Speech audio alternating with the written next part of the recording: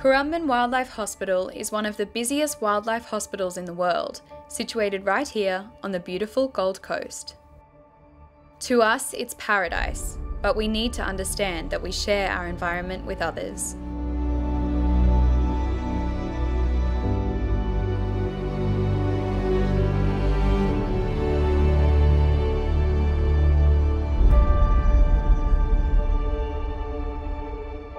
Sadly, our wildlife hospital admits almost 11,000 animals every year, and unfortunately, almost every one of them come in as a result of human impact.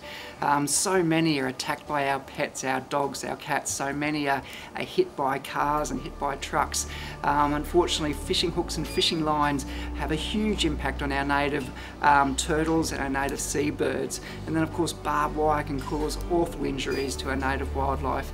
And habitat destruction is an ever-growing problem, destroying the homes of our animals. And you know, it all adds up to almost every animal coming into our hospital being as a result of humans being here causing problems.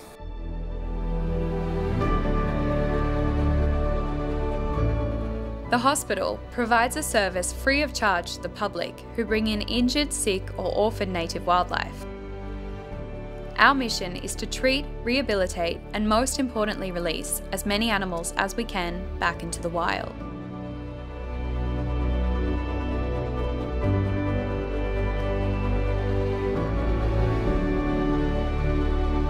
So we've been doing work with short-beaked echidnas and um, researching them for the past 15 years and we work closely with many universities with a whole range of different native species.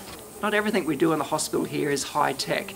Um, birds often come in with damaged feathers and we do a very innovative procedure where we can attach feathers from another bird that we've saved um, so we actually get a feather extension that allows that bird to regain its flight and be released back out into the wild. We quite often um, call on members of the community to provide us with recycled items that we'll use within the hospital, such as towels, sheets, and we have a really good um, relationship with some of our local hospitals who actually provide us with um, medical equipment and items from the human medical industry that we can use in the hospital.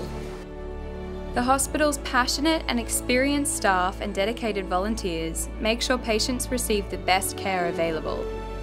A nursery is set up for orphaned animals who are being cared for by staff and volunteers in their own time. There are many species in Australia that are endangered, vulnerable, or threatened right here in our backyards. It's so important that we ensure our wildlife hospital continues to secure the future of the native animals we share our home with. And we need your help.